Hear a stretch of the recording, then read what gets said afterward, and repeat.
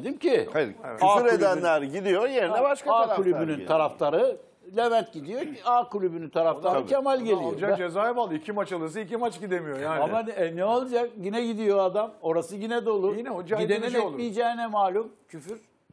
Ederse onlar da alıyor. He? Hepsi E ne alıyor. olacak? Esas sahibine geçiyor bu sefer. Ya, onlar da alıyor. Onların da kartlarından dolayı ismiyle gireceği için dolayısıyla alıyor. Şimdi şimdi şuradan da bakmak lazım. Seyirci olmaz ise hiçbir şey olmaz. Bakın ne kulüp olur, ne futbolcu olur. Futbolcular falan başka mesleğe giderler. Ama seyirci, Seyirci- olursa, seyirci- seyirci olursa. O tamam oraya or, tamam o bitti. Yani seyircinin kalitesi, yaptıkları vesairesi onu ayırıyorum. Ama seyirci ana sponsordur. Ana sponsor filan firma diyorlar ya. Hayır efendim.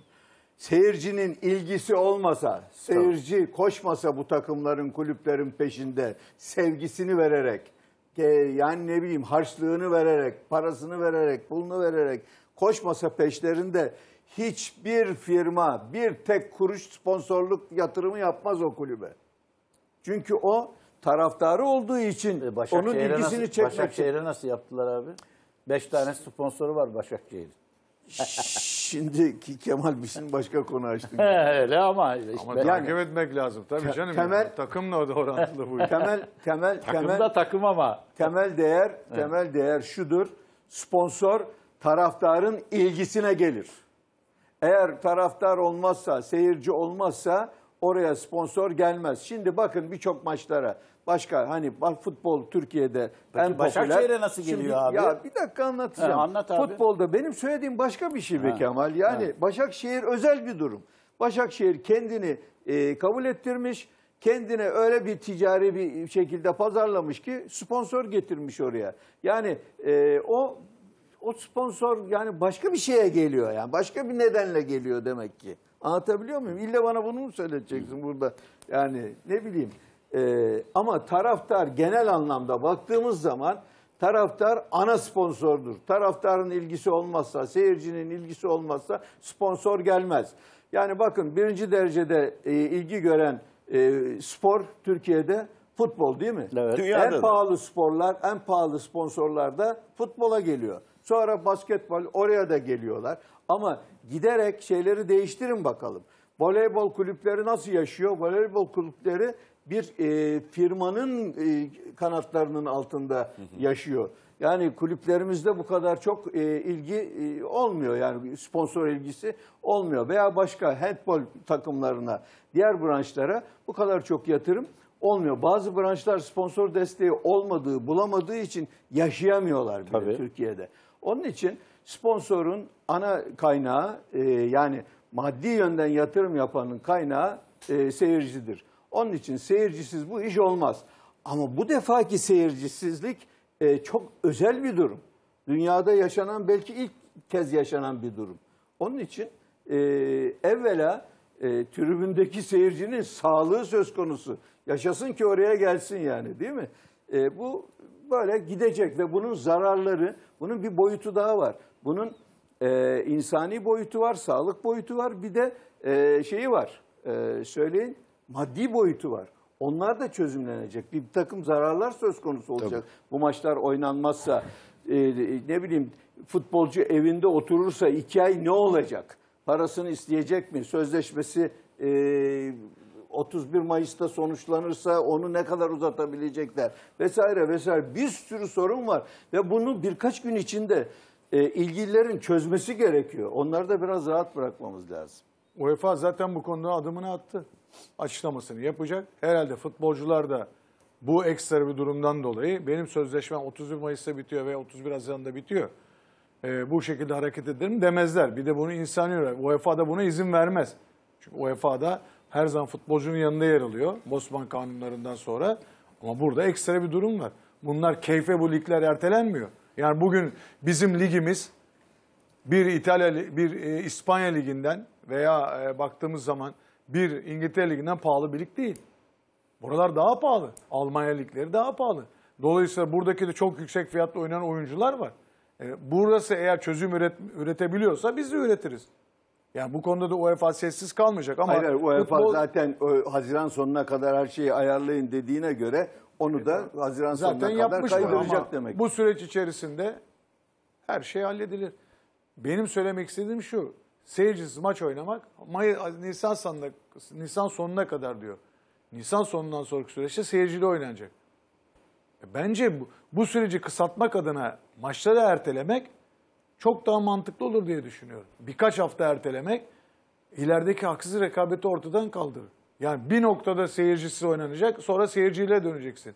Bunun kararı ya sezon sonuna kadar seyircisiz olur bence ya da bir limit ertelersin ondan sonra bakarsın sağlık problem nereye götürüyor diye. Bu işi onun kararını değiştirirsin. Ama şu günkü aşamada Avrupa'nın tatile girdiği bir noktada futbolun seyircisi oynanmadığı bir noktada kabul etmemiz gerekir ki Türkiye'deki sadece yerli oyuncular bu tweetleri atıyorlar. Yabancılar atmıyorlar. Obimike'nin sadece sözleşmesinde söyledikleri her şey futbol değil diye bahsettiği bir söylem var. Ama kabul edelim ki herkesin kafasında bir soru işareti var. Onlar da biz de insan değil miyiz diyor. Seyircinin canı var da benim yok mu diyor.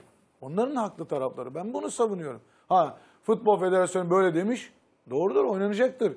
Bu ligin ertene ertelememesi Futbol Federasyonu'ydu. Ama bu konuda Kulüpler Birliği'nin de dediğim gibi futbolun sorumlu insanlarının da bir görüşleri alınması gerekir. Mesela bizler de burada program yapıyoruz. Seyircisiz oynamaktan mutlu oluyor musunuz?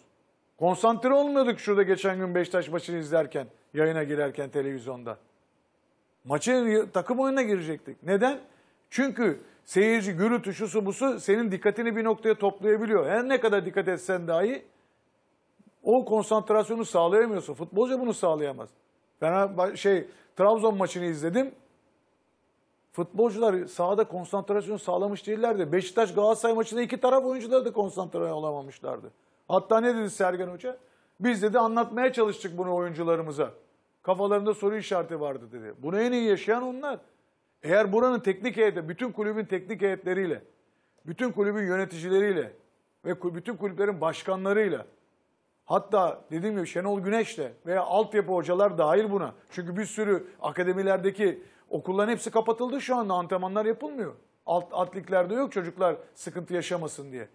E o zaman e, devletimiz mükemmel yönetiyor organizasyonla halkı mükemmel uyarıyor ve diyor ki evde kalın. Mümkünse işiniz acil değilse dışarı çıkmayın diyor. E bu süreç içerisinde bu süreçte bu açmazı yaşamamamız gerektiğini düşünüyorum. Ama benim söylediğim bu. Ben devlette hiçbir zaman için kurallarına karşı gelmemişim. Öyle bir vatandaş olmuşum. Ama kabul etmemiz gerekir ki sadece seyirci açısından bakmamak lazım. Futbolun diğer paydaşlarının da hassasiyetlerini, futbolun Yani demek ki onlar da taraftarın binlerce taraftarın kontrolünün zor olacağını ama e, e, bir maçta görevli 50-60 tane bilemediğiniz futbolcunun e, kontrolünün, sağlık kontrolünün daha kolay olacağını düşünüyor olabilirler. Yani gitsinler de bunlar da hasta olsunlar diye bir gaddarlık içinde değildirler yani bu kararı alanlar. Mesela geçen gün Malatya ayağa kalktı biliyorsun. Bir oyuncusu İspanya'ya gitti geldi. Oyuncular bize gelmese oyuncuma ihtiyacım var dedi şey Hikmet Karaman. Oynatmak için dedi. Kayseri'de oynattı. Kayseri spor oyuncular istemediler bir sıkıntı olabilir mi diye. E yarın öbür gün İspanya'ya giden bir Fumay mı diyor. E, galiba sıkıntı oldu. E yarın öbür gün bunda pozitif bir şey gelişirse e ne olacak? O zaman Kayseri'de Malatya komple karantinaya girecek. Bu da doğru bir şey değil. Türkiye'de rastlanan Allah'a şükür daha bir hiçbir ölüm yok. Ee, rastlanan sanıyorum 47 bugünkü rakam. Bunların tümü dışarıdan gelenler. Evet. Örneğin bakın gelenler. Umre'den gelen insanları devlet ne yaptı? Hemen havalimanlarına aldı, otobüse yerleştirdi. Yurtlara koydu değil mi? Tüm Bundan yurt daha dışından güzel. gelenler için Gelecek ama. Süneyt bir şey söyleyeyim. İtalya yapmadı bunu. değil. İspanya yapmadı. Bizim devletimiz Almanya yapmadı. doğrusunu İngiltere yapıyor. daha şimdi Demek çark ki etti. ülkelerin Yani- koşulları da biraz farklı yani. ya bize bize mesela bu işlerde hep ikinci sınıf muamelesiyle bakıyor Avrupa. Önce bir kendi önüne baksın şimdi. Tabii. Kendi kapısının önünü süpürsün. Doğru. Türkiye'nin aldığı önlemler karşısında biz niye bunları almadık diye kendi bir tartışması gerekir. Her zaman bizi suçluyorlardı. Biz işi bilmiyorduk.